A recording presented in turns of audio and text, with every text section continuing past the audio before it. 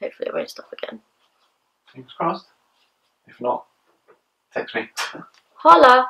Hello YouTube! Again, it's been a while. Um, this video is just going to be a quick video like I am back, hopefully for good. Um, I've got a new microphone so this is also testing that out because I don't know how good it's going to be or I don't really know how it works yet so I'm hoping you can hear me right now. I've also got some new lights so wanting to see how they are.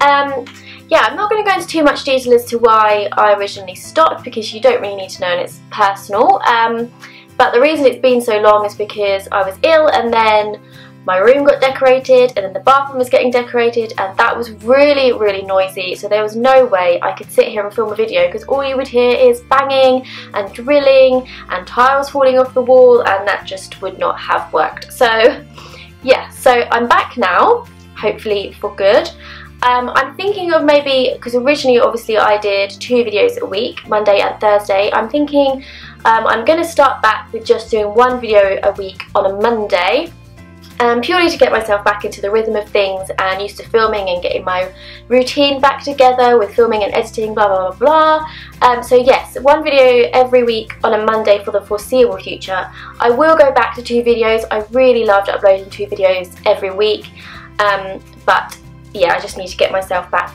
into the rhythm of things before I do that. What do you guys think to my new setup? Are we, are we liking it? Are we not? Do we think it's too busy? I think it's a bit busy.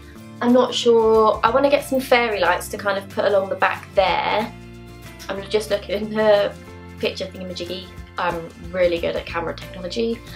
Um, and also I'll probably put some candles on either side there. But yeah, I'm also thinking I might do a room tour video because the room is pretty much done now. It's not exactly how I would like it. There's a few things that I need to change. Like I need to change the curtains and I want to get a nice comfy armchair for the corner. But apart from that, I think we're there. I also really need to paint my wardrobe doors because they are horrible and brown and they just don't go. And if you've seen any of my previous videos do with my room, you will know what colour they are and it's not a nice colour. So especially now everything is like grey and white and then you walk in and it's like oh whiteness freshness and then you look to your side and there's these huge brown doors. It's just I don't like it so they are going to be painted white.